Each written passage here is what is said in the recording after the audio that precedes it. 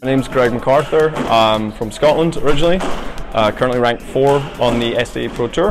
Um, day to day, I'm the head squash pro at Sleepy Hollow Country Club in Westchester, New York.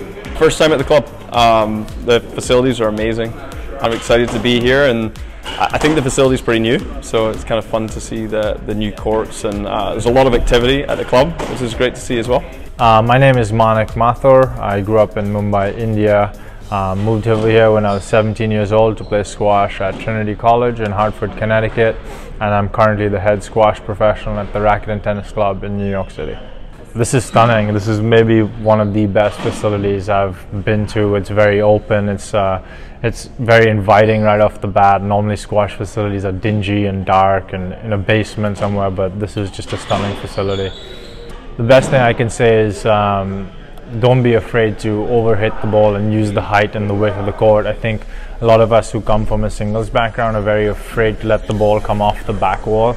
But I feel like when you play doubles, if you leave the ball short and allow people to volley and control the service line, that's what gets you in trouble. So make sure you really think about overhitting, trying to find the back wall as much as you can. Hi, I'm Chris Callis. Uh, I grew up 10 minutes from this club, actually. Uh, I went to Penn Charter, uh, and now I live in New York, number two ranked SDA squash player in the world. Um, I grew up playing just down the road at Chestnut Hill Academy and then at Germantown Cricket Club, uh, only a stone's throw away. Uh, born and raised Wyndmoor. You know, uh, it's funny. As soon as I got here, I was joking with Richard that like every time I come back to the club, uh, I'm super jealous of everyone now who has these beautiful brand new facilities. When I was growing up here, uh, you know, I remember playing down here in the dungeon next to the doubles courts, um, in the super old hardball singles courts.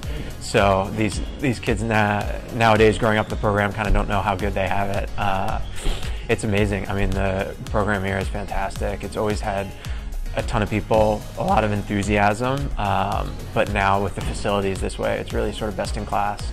Uh, I'd say to just think about where you're standing on court and your positioning.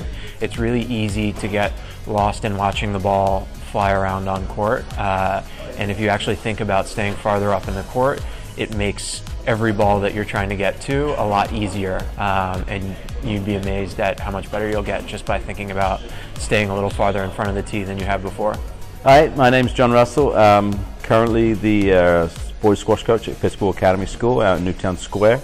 Uh, currently ranked number one in the world at doubles. Um, moved over here from England about 17 years ago, so I've been playing doubles now for 15 or 16 years. Uh, it's a fantastic club. I've been here a couple of times before for the uh, high school nationals when it's been here.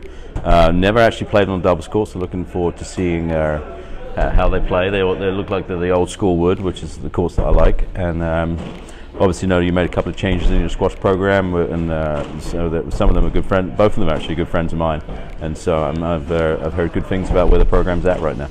The big thing you need to talk to your partner and have a game plan when you go on the court. If you're just going on there and kind of playing as two individuals, you're you're not going to have as much success as you do if you work as a team.